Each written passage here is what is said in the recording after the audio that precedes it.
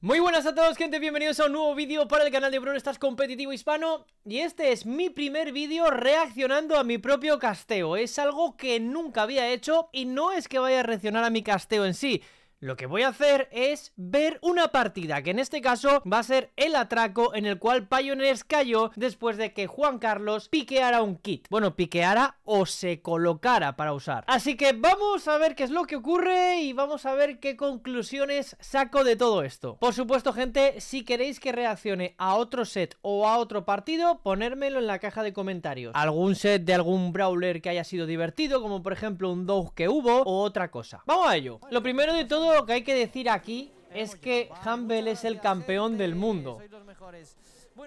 Pero claro, eso es algo que no sabíamos en ese momento. No sabíamos, que iba a ser el campeón del mundo. Aunque yo lo predije. Yo dije, yo creo que va a ganar Humble. Pero da igual. No se sabía. Un Angelo en Brick to the Far es algo normal. Y aquí se viene la Amber y luego el Kit, que es algo que ya se ha visto en Atraco. Es decir, no es un invento nuevo. Pero el punto es que yo había visto composiciones de Amber y Gatito, pero no en Brick to the Far, lo había visto en otros mapas de Atraco. De hecho a Neas le gusta de inicio y el problema viene aquí. Viene con el pick de Humble.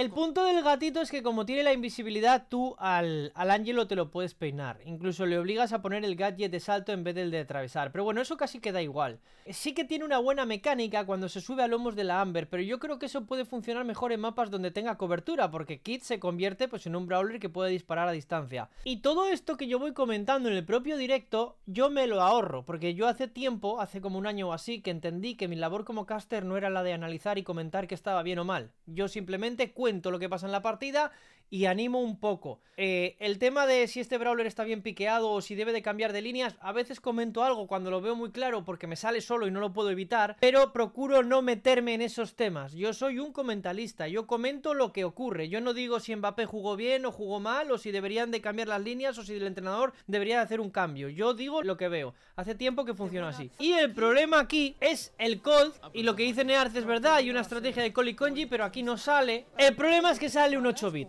el set ya está perdido. Yo creo que el set aquí ya está perdido. Es decir, yo creo que Pioneers cuando coloca un kit no se acuerda de que puede salir el Cold. O el Cold y el 8 bit o las dos cosas. No se acuerdan. En ese punto ya está perdido el partido.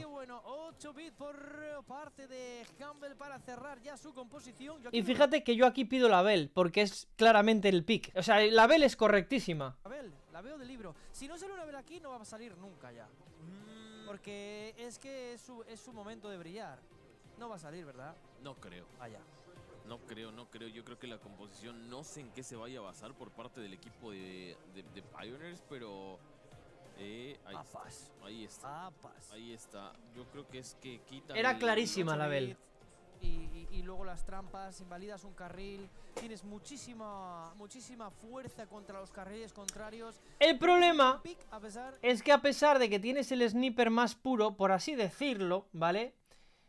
Mm, no tienes más rango que ellos, tienes menos rango. Y luego en DPS también tienes menos que ellos, es que tienes menos de todo. Bell no pasa por su momento más brillante de la historia, ¿no?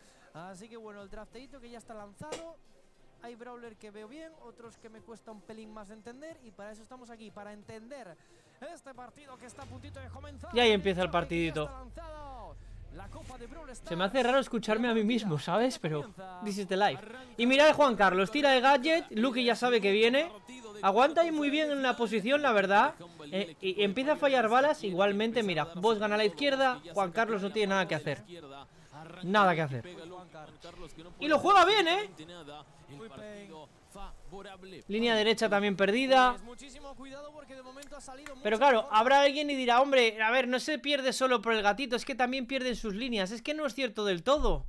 Porque es que el gatito no hace nada en el centro, pero tampoco puede meter una bala a un lateral de vez en cuando para ayudar a sus compañeros. Es que no hace nada. Es el problema.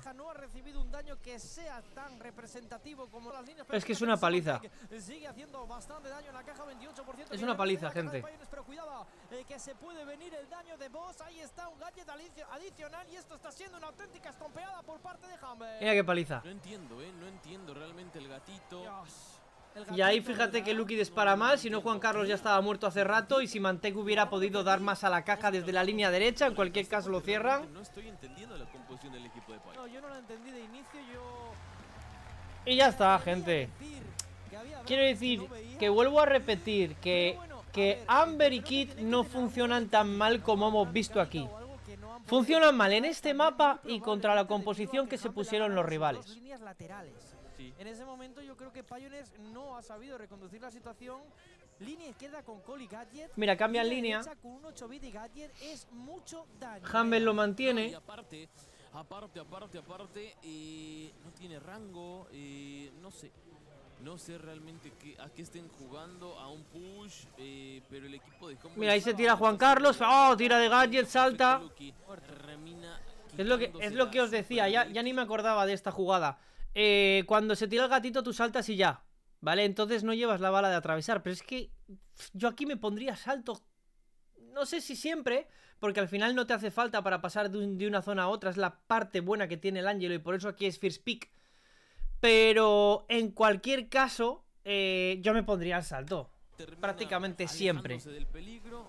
Madre mía por parte de Lucky, eh, que se ponía a melee para intentar ganar la superioridad. Juan Carlos que lo está pasando bastante mal con ese kit de momento. La caja que no recibe daño, el ataque por parte de Humble que se queda neutralizada. En cualquier caso, Pioneers lo está pasando bastante mal. Nerd, vamos a ver si Aquí parece que ese combis podría llegar, pero claro, pierde el tiempo en romper la torreta. No sé si sale a cuentas. Ventaja para el equipo de Humble. Porque si Mantec te carga otra en un momento. Mucho, mucho, pero mucho daño por parte del equipo de Humble. 92 a 46 Pioneers. Y F. Mamma mía. Y aquí ya directamente Pioneer se rinde. No hay nada que hacer. Se pone en 1 a 0.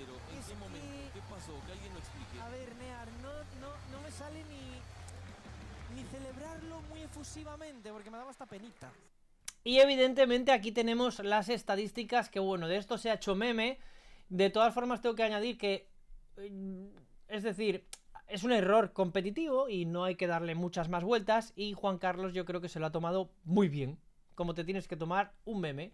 Eh, Juan Carlos es una persona adulta, inteligente, que además es pro player, eh, profesional y, evidentemente ha sabido aceptar que eso es un error y pa'lante. Y es que no tiene más misterio. Igualmente os digo que esta estrategia de Amber y Kid funciona, pero no contra un 8-bit y un Colt. Es decir, ya no, esto no es solo que Pioneers la haya cagado, sino que Humble lo ha sabido hacer muy bien. Así que nada, gente, hasta aquí el análisis.